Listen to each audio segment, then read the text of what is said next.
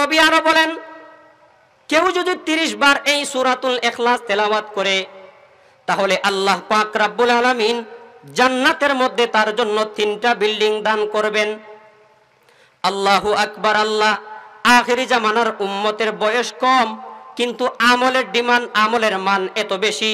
আগেকার উম্মতেরা অনেক হায়াত বেশি পাইয়া যেই আমল করা যে সব পাইতো এই উম্মতেরা সামান্য কয়েকটা বছর জিন্দিগি পাইয়া যেই আমল করবে সেই আমলের খাতিরে আল্লাহ পাক রাব্বুল আলামিন এক হাজার বছর জিন্দিগি পাওয়ার পরেও আল্লাহ পাক রাব্বুল আলামিন তাদেরকে তাদের আগার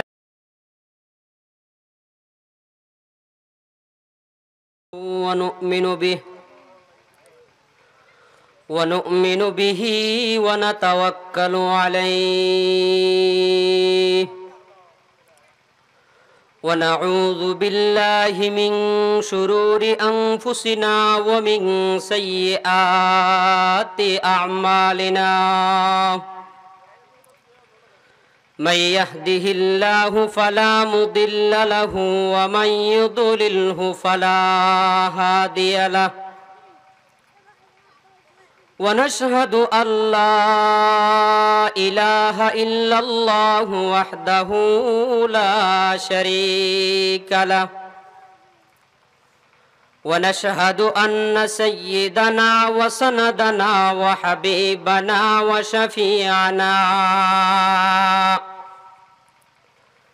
وأولانا ومولانا محمدا عبده ورسوله.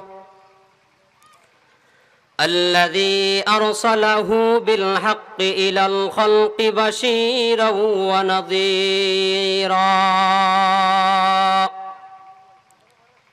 وداعيا إلى الله بإذنه وسراجا وقمرا منيرا.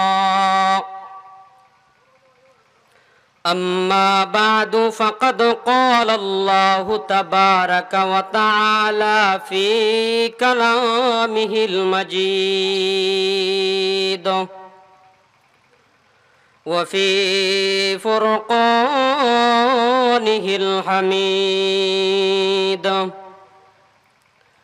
أعوذ بالله من الشيطان الرجيم. بسم الله الرحمن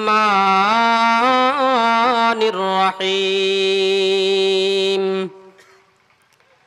إنما المؤمنون الذين إذا ذكر الله وجلت قلوبهم وإذا تليت عليهم آياته زادتهم إيمانا. زادتهم إيمانا وعلى ربهم يتوكلون. وقال تعالى في مقام آخر إنما يخشى الله من عباده العلماء. وقال صاحب القرآن صلى الله عليه وسلم من قرأ القرآن وعمل بما فيه ألبس والده تاجا يوم القيامة. أو كما قال النبي عليه الصلاة والسلام اللهم صل على محمد وعلى آل محمد. كما صليت على إبراهيم وعلى آل إبراهيم إنك حميد مجيد اللهم بارك على محمد وعلى آل محمد كما باركت على إبراهيم وعلى آل إبراهيم إنك حميد مجيد اللهم صل على روح محمد في الأرواح وعلى جسد محمد في الأجساد وعلى قبر محمد في القبور. سبحانك لا علم لنا إلا ما علمتنا. إنك أنت العليم الحكيم. سبحان ربك رب العزة عما يصفون. وسلام على المرسلين والحمد لله رب العالمين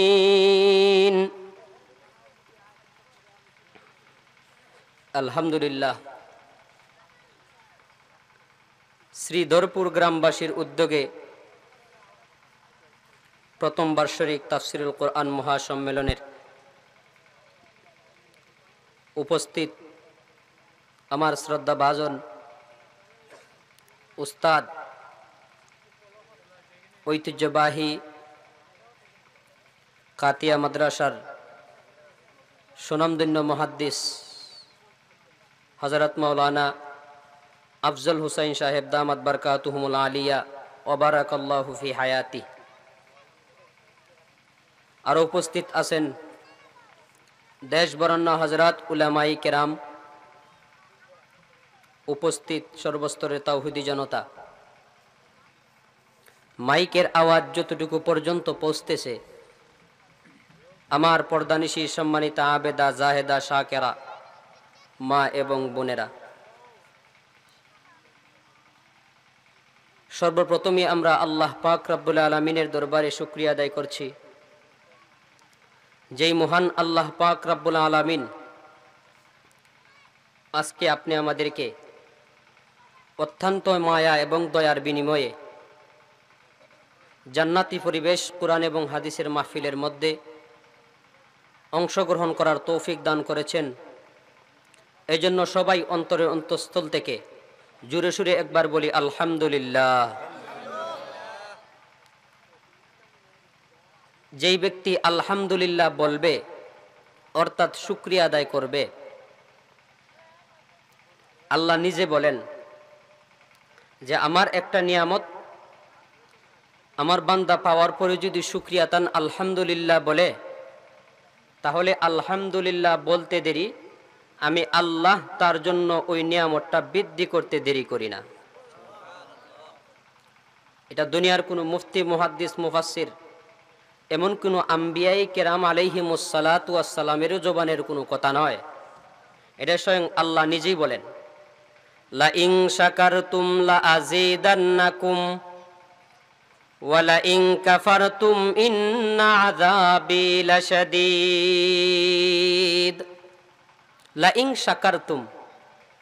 কত পরিষ্কার করে আল্লাহ বলতেছেন, যেই কথার মধ্যে কোনো বেজাল নাই, ব্যাখ্যার কোনো দরকার নাই, বিশ্লেষণের কোনো দরকার নাই, উদাহরণ দেওয়ারও কোনো দরকার নাই। একদম পরিষ্কার করে আল্লাহ বলতেছেন লা ইং শাকারতুম হে আমার মায়ার বান্দা এবং বান্দিরা, যদি তোমরা শুক্রিয়া আদায় করো লা আজিদান্নাকুম আমি আল্লাহ তোমাদের জন্য বাড়িয়ে দিব। ওয়ালা ইং কাফারতুম, পক্ষান্তরে তোমরা যদি নিয়ামতের শুক্রিয়া আদায় করো না, যেই সমস্ত নিয়ামত আমি আল্লাহ তোমাদেরকে দিলাম, জন্মের পর থেকে নিয়ে মৃত্যু পর্যন্ত যত সমস্ত নিয়ামত আমি আল্লাহ তোমাদের জিন্দেগির মধ্যে দিলাম, এই সমস্ত নিয়ামতের শুক্রিয়া যদি আদায় না করো, তাহলে জেনে রাখো, এই পরকালের দিনের আজাবের ভয়ানক, অত্যন্ত ভয়ানক আজাব আজাব খুব ভয়ানক, জেনে রাখো। এই জন্য শুক্রিয়া আদায় করতে পারলাম। এই নিয়ামত আল্লাহ মুহূর্তের জন্য, মুহূর্তের ভিতরে আল্লাহ আমাদের জন্য বৃদ্ধি করে দিয়েছেন। এই জন্য একজন কবি বলেন, নিয়ামতকে শুকুর করনা দৌলতে ইনসান হে। নিয়ামত কি শুকুর করনা দৌলতে ইনসান হে। নিয়ামত কি কুফুর করনা এ তো বিনা দান হে। শুক্রে নিয়ামত, নিয়ামতত আফজু কোনদ শুক্রে নিয়ামত, নিয়ামতত আফজু কোনদ। কুফরে নিয়ামতে আজ কুফত বীরু কোনত। কুফরে নিয়ামতে আজ কুফত বীরু কোনত। নিয়ামতের শুক্রিয়া আদায় করাটাও হচ্ছে সৌভাগ্যশীলদের কাজ। আমি চাইলাম, আলহামদুলিল্লাহ বললাম, হবে না। আল্লাহ এই শক্তি, এই সামর্থ্য, আল্লাহ এই ক্ষমতা আপনি আমাকে দান করতে হবে। অনেক মানুষ আছে, জন্মের পরে সে কথা বলতে পারে না, আছে না নাই? আবার অনেক মানুষ আছে জন্মের পরে কথা বলতে পারে। কিছুদিন যাওয়ার পরে আল্লাহ তার জবানটা নিয়ে নিছেন, আর কথা বলতে পারে না। তার ভিতরে আফসুস, কত মানুষ কথা বলে, কত মানুষ তার দিলের ভিতর থেকে তার দিলের।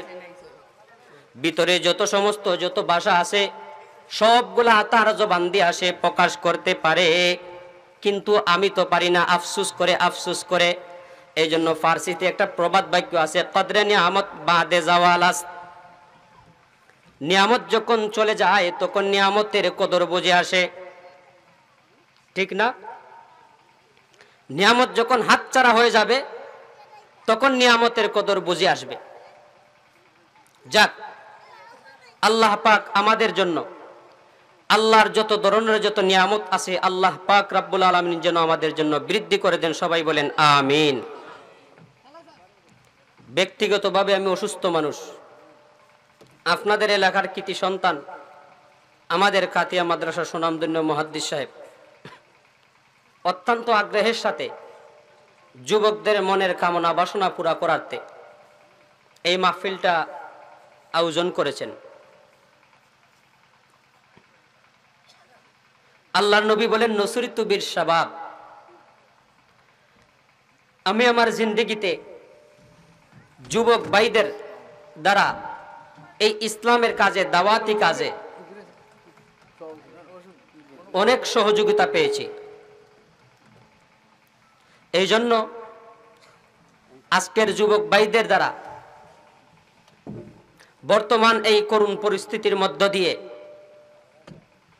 যে মাহফিলের আয়োজন করা হয়েছে, এটা অত্যন্ত আনন্দ এবং অত্যন্ত সৌভাগ্যের কথা। কারণ আপনারা দেখতে পাচ্ছেন বর্তমান বাংলাদেশের মধ্যে একের পর এক করুণ পরিস্থিতি জনগণের জন্য আসছে। যেটা মানুষ কোনোদিন কল্পনাও করতে পারে না যে এমন করুণ পরিস্থিতি আমাদের জন্য আসবে। যেমন ছোট্ট একটা উদাহরণ, পেঁয়াজের দাম বাইরে গেছে। এটা কোনো দিন বাংলাদেশের কোনো জনগণ চিন্তাও করে নাই যে আমাদের জন্য এই পেঁয়াজের দামটা বাড়বে। এটা বাংলাদেশের বর্তমান পরিস্থিতির মধ্যে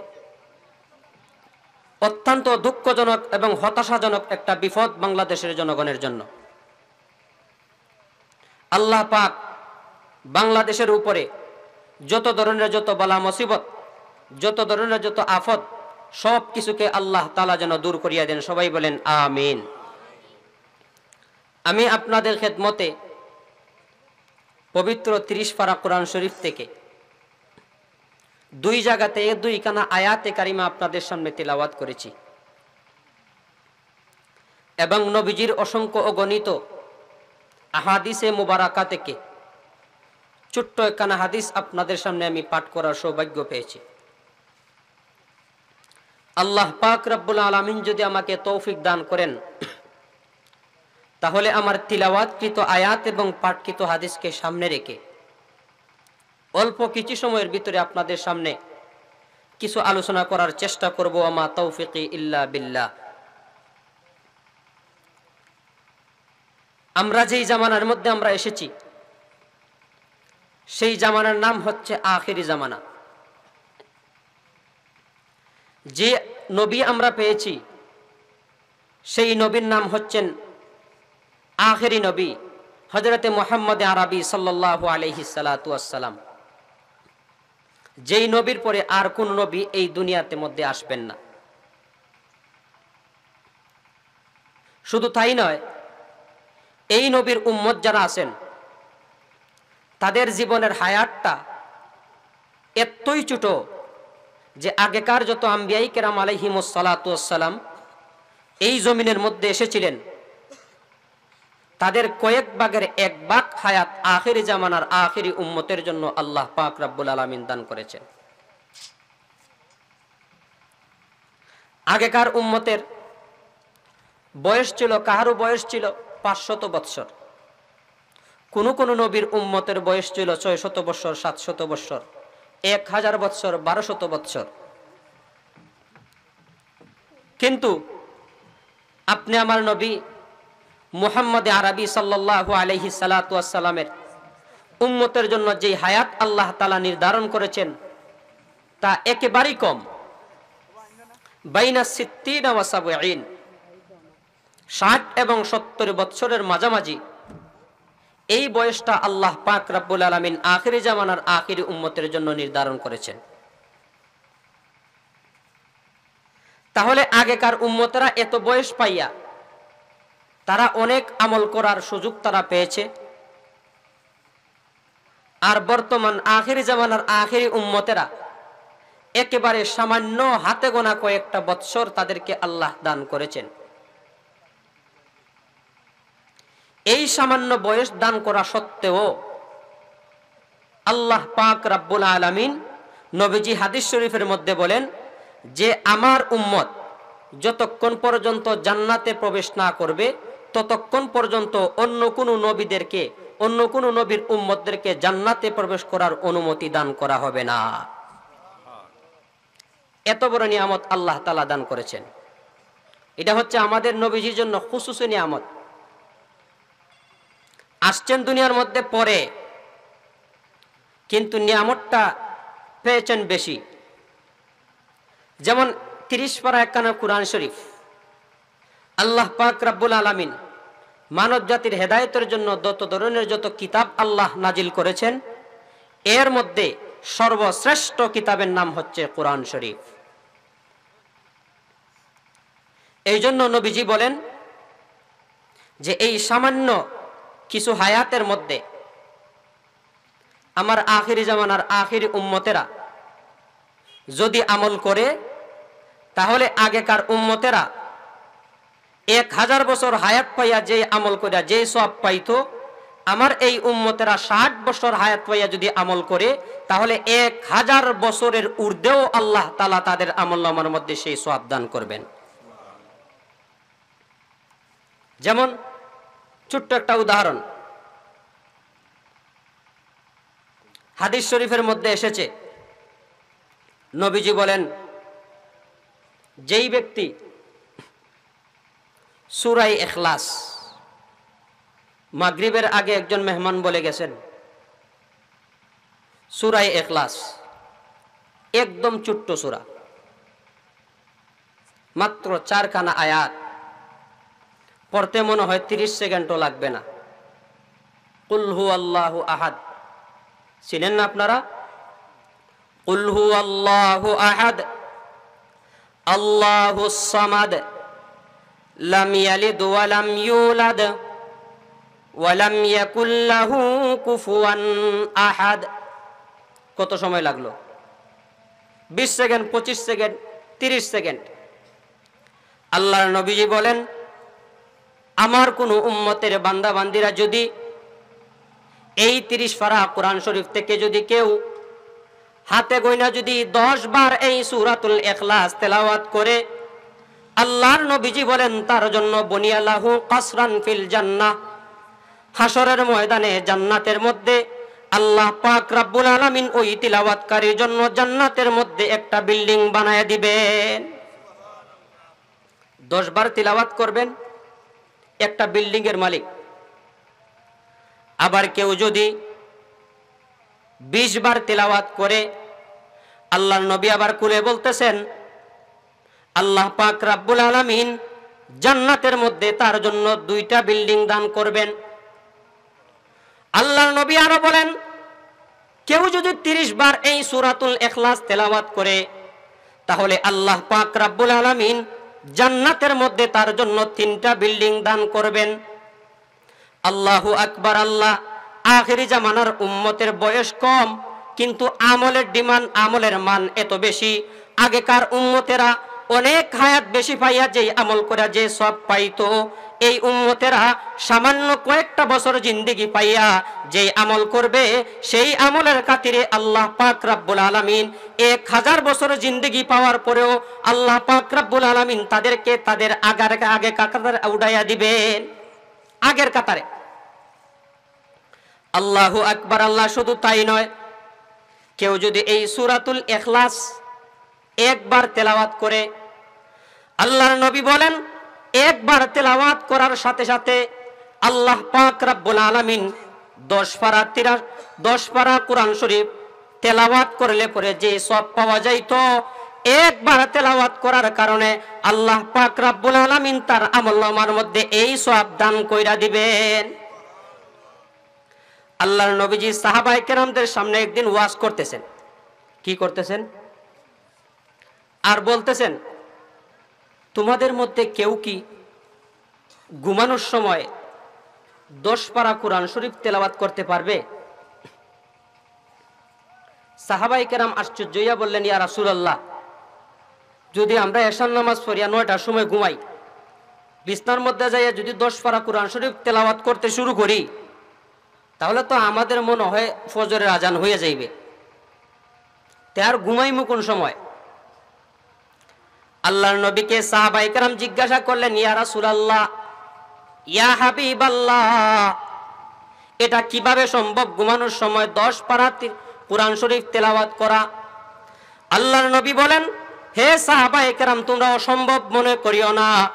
তোমাদের মধ্যে কেউ যদি কোরআন শরীফের সবচাইতে ছোট্ট সূরা সূরাতুল ইখলাস, অর্থাৎ কুল হুয়াল্লাহু আহাদ আল্লাহুস সামাদ লাম ইয়ালিদ ওয়া লাম ইউলাদ ওয়া লাম ইয়াকুল লাহু কুফুয়ান আহাদ কেউ যদি এই সূরা, এই মাত্র চারখানা আয়াত যদি তিরিশ ফারা কোরআন শরীফ থেকে এক মর্তবা তেলাওয়াত করে ঘুমাইবার সময় আল্লাহ পাক রাব্বুল আলামিন তিরিশ পারা কোরআন শরীফের মধ্য থাকিয়া দশ পারা তেলাওয়াত করলে পরে যেই সব এই সুরাতুল এখলাস তেলাওয়াত করার কারণে আল্লাহ পাক রাব্বুল আলামিন তাকে সেই সব দান কইরা দিবেন। আবার যদি কেউ দুইবার তেলাওয়াত করে, আল্লাহর নবী বলেন, তাহলে বিশ পারা কোরআন শরীফ তেলাওয়াতের সব আল্লাহ তার আমল নামার মধ্যে দিয়ে দিবেন আল্লাহর নবী বলেন, কেউ যদি তিনবার তেলাওয়াত করে, তাহলে তার আমল নামার মধ্যে তিরিশ ফারা কোরআন শরীফের সব আল্লাহ তালা দান করে দিবেন আমরা মনে করতে পারি, আমরা তো তিরিশ ফারা কোরআন শরীফ পড়তে পারি না। আল্লাহর নবী বাইপাসে আমরা যারা পড়তে পারি না তাদের জন্য আল্লাহ নবী বাইপাসে এই সবগুলা দিয়ে দিছেন। খুশুস নিয়ামত। যাই হোক এই হলো আমরা এসেছি আখিরি জামানায়, বয়স আমাদের কম টাইম আমাদের কম, কিন্তু আল্লাহ পাক রাব্বুল আলামিন এমন খুশুসি নিয়ামত, এমন খুশুসি কিছু বৈশিষ্ট্য আল্লাহ পাক রাব্বুল আলামিন আখেরি জামানার আখেরি উম্মতদেরকে দান করেছেন। যে হাসরের ময়দানে যেই সমস্ত নবীর উম্মতেরা জান্নাতে প্রবেশ করবে, এই সমস্ত আম্বিয়াই কেরাম আলাইহিমুসালাতামের উম্মতদের মধ্য থেকে আখেরি জামানার উম্মতরা সর্বপ্রথম জান্নাতের মধ্যে প্রবেশ করবে। সুবাহানাল্লাহ বলেন এই জন্য মুসলমান ভাইয়ের আমার, আমাদের হাতের মধ্যে যেই টাইম আছে, যেই সময়টা আল্লাহ পাক রাব্বুল আলামিন দিয়েছেন, এই প্রত্যেকটা সময় যেন আল্লাহর হুকুম এবং নবীর তরিকা অনুযায়ী যেন কাটে। হাদিস আপনাদের সামনে আমি পাঠ করেছিলাম। মান কারা আল কুরআন, যেই ব্যক্তি কোরআন শরীফ পড়বে ওয়ামিলা বিমা ফি এবং তার অনুযায়ী সেই ব্যক্তি আমল করবে। আল্লাহর নবী বলেন, উলবিসা ওয়ালিদাহু তাজান ইয়াউমাল কিয়ামা আল্লাহ পাক রাব্বুল আলামিন হাসরের ময়দানে ওই কোরআন পড়নেওয়ালার মাতা পিতার মাতার মধ্যে আল্লাহ পাক নূরের মুটুক পরাইয়া দিবেন। আলুটা কেমন হবে? আল্লাহর নবী বলতেছেন, আলুটা কেমন হবে? সাহাবাই কেরামদের কলবের মধ্যে প্রশ্ন জাগতে পারে, ইয়া রাসূলুল্লাহ, ইয়া হাবিব আল্লাহ তার আলোটা কেমন হবে? আল্লাহর নবী কুলে বাহির করে দিতেছেন, বলতেছেন যাও উহু আহসানু মিন যাও শামস। যে বর্তমান দুনিয়া থেকে এত দূরে অবস্থিত এই সূর্য, এই সূর্যের যেই পাওয়ার, এর চেয়ে বেশি পাওয়ার এই মুটুকের পাওয়ার হবে। দেখেন কি নিয়ামতগুলো আল্লাহ দিতেছেন। আরেক হাদিসের মধ্যে নবীজি বলেন, মান এই তিরিশ পারা কোরআন শরীফ থেকে যে ব্যক্তি একটা হরফ পড়বে ফালাহু বিহি হাসানা। তার আমল নামার মধ্যে আল্লাহ পাক রাব্বুল আলামিন এক হাসানা দান করবেন। সাহাবাই কেরাম জিজ্ঞাসা করলেন, ইয়া রাসূল আল্লাহ ইয়া হাবিব আল্লাহ এক হাসানার সম পরিমাণ কি দেওয়া হবে? আল্লাহর নবী কুলে বললেন, ওয়াল হাসানাতু বিআশরি আমসালিহা। আল্লাহ পাক রাব্বুল আলামিন তার আমল নামার মধ্যে এক হাসানার সম পরিমাণ দশ নেকি তার আমল নমায় দান করবেন। আল্লাহর নবী বলতেছেন মিম হারফুন। আল্লাহর নবী বলতেছেন, সাহাবাই কেরাম, তোমরা ধারণা করিও না যে আমি বলেছি আলিফ লাম মিম, এই শব্দটা মিলে একটা অক্ষর। আল্লাহর নবী বলতেছেন, না না না এই আলিফ একটা অক্ষর, লাম একটা অক্ষর, মিম একটা অক্ষর, এই তিনটা অক্ষর মিলে কোনোদিন একটা অক্ষর নয়। অর্থাৎ আল্লাহর নবী বলতেছেন, কেউ যদি এই তিরিশ ফারা কোরআন শরীফ থেকে শুধুমাত্র, কেবলমাত্র আর কিছু পড়তে পারে না, শুধু আলিফ, লাম, মিম পড়ে আল্লাহ পাক রাব্বুল আলামিন মুহূর্তের ভিতরে তার আমলনামার মধ্যে তিন দশে তিরিশ নেকি মুহূর্তের ভিতরে দান কইরা দিবেন। তিন দশে তিরিশ নেকি। মান কারা হারফাম মিন কিতাবিল্লাহ ফালাহু বিহি হাসানা ওয়াল হাসানাতু বিআশরি আমসালিহা লা আকুলু আলিফ লাম মিম হারফুন আলিফুন হারফুন লামুন হারফুন সবাই বলেন আল্লাহু আকবার এই আলিফ একটা অক্ষর লাম একটা অক্ষর মিম একটা অক্ষর এই তিনটা অক্ষর তিলাবাত করছে আল্লাহ পাক রাব্বুল আলমীর সাথে সাথে তাকে ত্রিশ নেকি দান করিয়া দিছে। এই জন্য আপনাদের সামনে আমি তিলাবাত করেছিলাম, ইন্নামাল মুমিনুন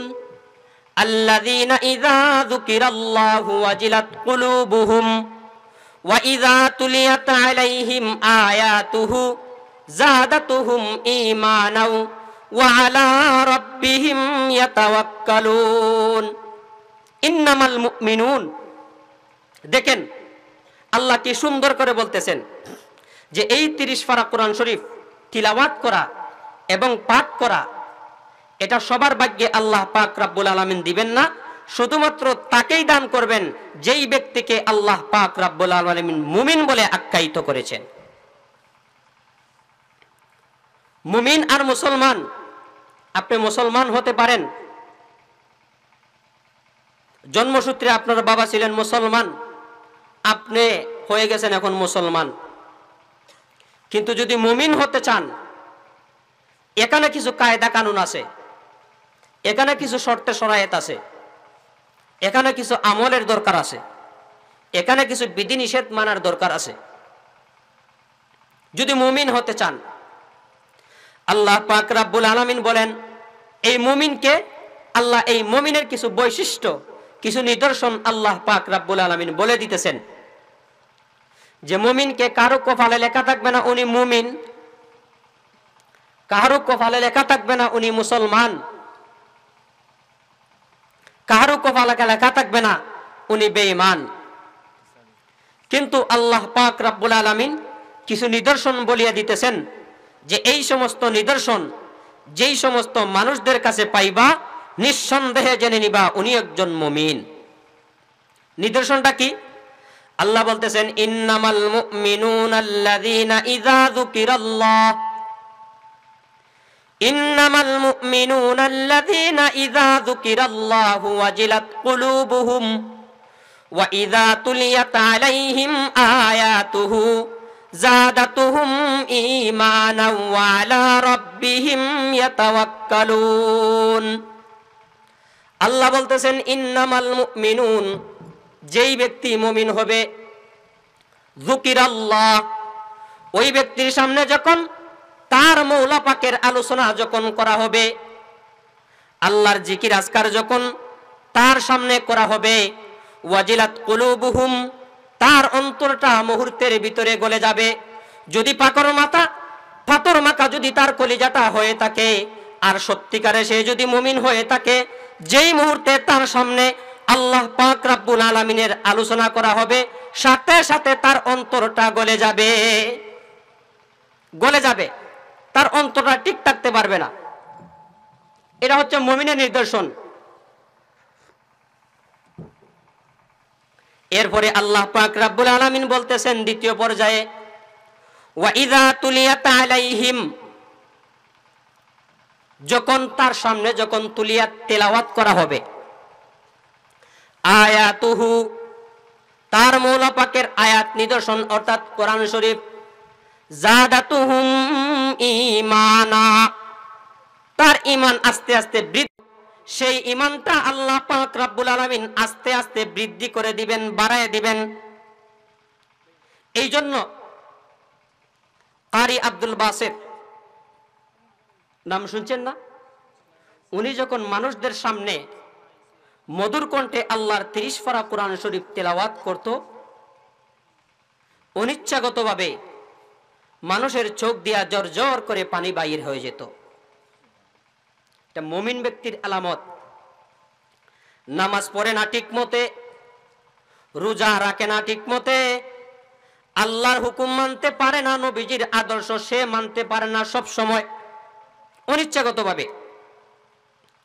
হঠাৎ করে কোরআন হাদিসের মাহফিলের মধ্যে আসছে, কোন ধরনের কোন মাদ্রাসার মধ্যে গেছে। হেফসখানার ছোট বাচ্চা হাফেজ, তিরিশ ফারা কোরআনের হাফেজ যখন তার সামনে তেলাওয়াত করে, আস্তে আস্তে তার মাথা ডানিসের দিকে চইলা যায় আর টক টক করে তাহার চোখ দিয়া পানি বাহির হওয়া শুরু হয় মমিনের আলামত। অর্থাৎ তার কলপটা গইলা গেছে, কলিজাটা গইলা গেছে। ওয়াইদা তুলিয়াত আলাইহিম যেই মুহূর্তে এই মুমিন ব্যক্তির সামনে আল্লাহর 30 ফারা কোরআন শরীফ তেলাওয়াত করা হবে, জাদাতুহুম ঈমানা। আল্লাহ পাক রব্বুল আলামিন বলতেছেন, আস্তে আস্তে তার ঈমানটা বৃদ্ধি পাবে। বৃদ্ধি পাবে। আল্লাহর নবী যখন দিনের দাওয়াত দেওয়া যখন শুরু করেন তখন মক্কার কাফের বেইমান মুশিক এই দাওয়াতের আগে সবাই বলেছিল, আপনি আল আমিন। অমুক জায়গার মধ্যে সফরে যাইতো। নিজের যত আমানত ছিল, যত মাল, সামানা আছিল সব কিছু আল্লাহ নবীর কাছে দিয়া যাইত। যে আবদুল্লাহ ছেলে মোহাম্মদ, এই মক্কার জমিনের মধ্যে তোমার চেয়ে সত্যবাদী আমাদের কাছে আর কেউ মনে হয় না। এই জন্য এই আমাদের সম্পদগুলা তোমার কাছে আমানত দিয়া গেলাম। আমরা যখন আবার ফিরে আসব, এই আমানতগুলা নিয়ে যাইব। কিন্তু আল্লাহর নবীর কাছে যখন ওহিনাজিল হলো, অর্থাৎ তিনি যখন নবুয়ত পাইলেন, পাওয়ার পরে তিনি যখন এক আল্লাহর দাওয়াত দেওয়া যখন শুরু করছেন, মুহূর্তের ভিতরে তাদের ধ্যান ধারণা উল্টে গেছে। বিপরীত আল আমিন অর্থ কি? সত্যবাদী। আমানতদার। এটা কাদের কথা? কাফেরদের কথা। কিন্তু আল্লাহ নবী যখন দাওয়াতে মিশন শুরু করছেন, তোমাদের এই মূর্তি পূজা, বৃক্ষ পূজা, সূর্য পূজা, আরও কত কি পূজা, এই সমস্তর বিরুদ্ধে আল্লাহ পাক রাব্বুল আলমিনের ওহদানিয়তের দাওয়াত দেওয়া যখন শুরু করছেন, সমস্ত কাফেররা এখন উল্টে গেছে। চাচা আবু তালিবের কাছে গেছে। যাওয়ার পরে বলতেছে, আবু তালেব, তুমি কিন্তু বর্তমান এই বংশের সর্দার। ওই তোমার বাতিজার বাবা কিন্তু দুনিয়াতে নাই, তার সমস্ত কিছুর জিম্মাদারি দায়িত্ব তোমার কাছে দিয়া গেছে। এতদিন ভালোই ছিল, এখন কিন্তু সে কিছু উল্টা পাল্টা করতেছে। আবু তালিব বললেন, কি উল্টা পাল্টা কই, এই মুহূর্তে এসে নতুন শুনতেছি, নতুন বলতেছে। যে আমাদের এই মূর্তি পূজার বিরুদ্ধে সে বইলা, তার নাকি একজন আল্লাহ আছে, সেই আল্লাহর দাওয়াত আমাদের মধ্যে পৌঁছাইতেছে। তুমি নিষেধ করিও, আর না হয় তোমারও ইজ্জত যাবে, তোমার বাতিজারও ইজ্জত যাবে। কে বলতেছে? কাফেররা। আচ্ছা ঠিক আছে ভাই, যাও। আমার বাতিজা করে আসলে পরে বলব না। আল্লাহ নবী যখন গড়ে আসছেন,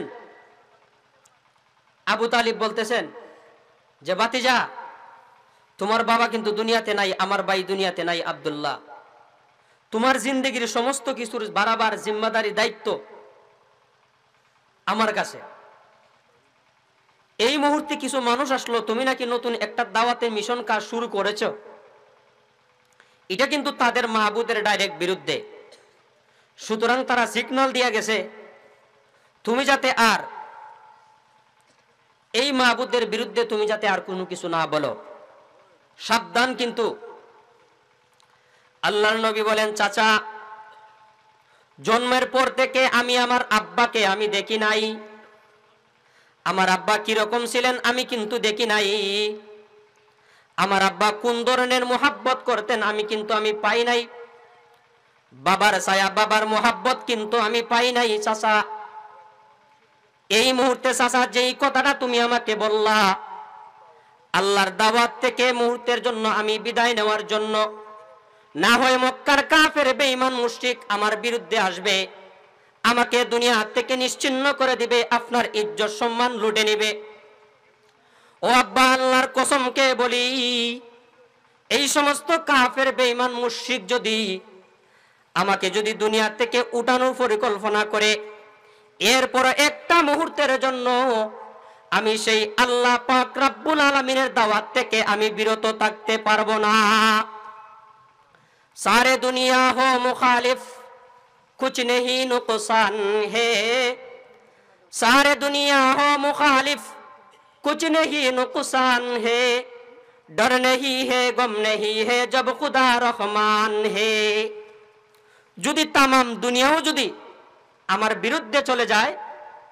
আর আল্লাহ যদি আমার রহমান এবং রহিম যদি দয়া হন, তাহলে একটা মুহূর্তের জন্য আমি সেই আল্লাহর দাওয়াতি কাজ থেকে বিরত থাকতে পারব না। যেই কথাটা আপনি আপনাদেরকে বুঝাইতেছিলাম, আল্লাহর নবীর কাছে যখন ওহি নাজিল হওয়া শুরু হয়, তিনি কুরআন শরীফ, তিরিশ ফারা কোরআন শরীফ তিনি তিলাওয়াত করেন।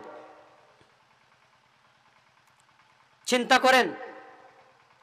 যার উপরে আল্লাহ তিরিশ ফারা কোরআন শরীফ নাজিল করেছেন, স্বয়ং তিনি নিজে তিলাওয়াত করেন।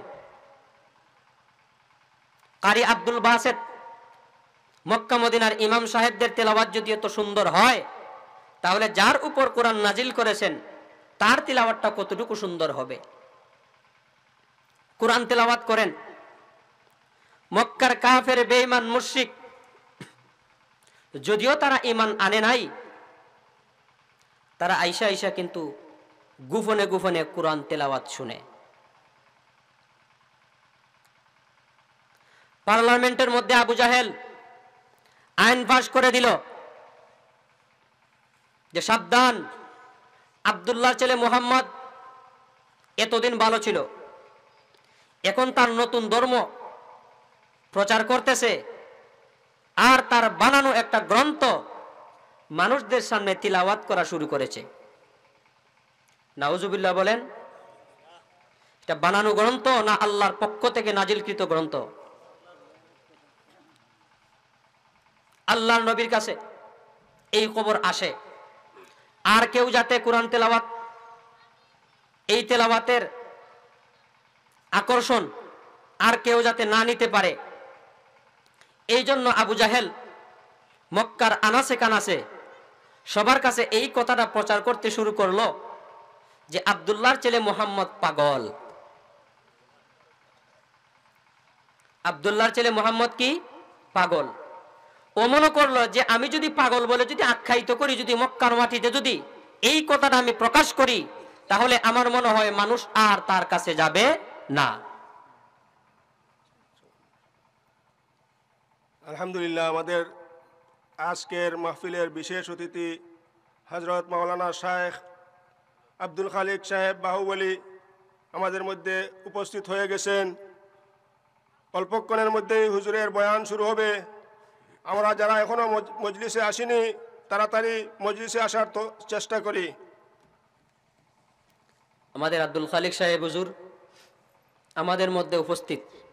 সবাই আলহামদুলিল্লাহ বলেন এই সমস্ত বুজুর্গ উলামায়ে কেরামদের চেহারার দিকে যদি তাকান, তাহলে আল্লাহ পাক রাব্বুল আলামিন সগিরা গুনাগুলা মাফ করে দিবেন।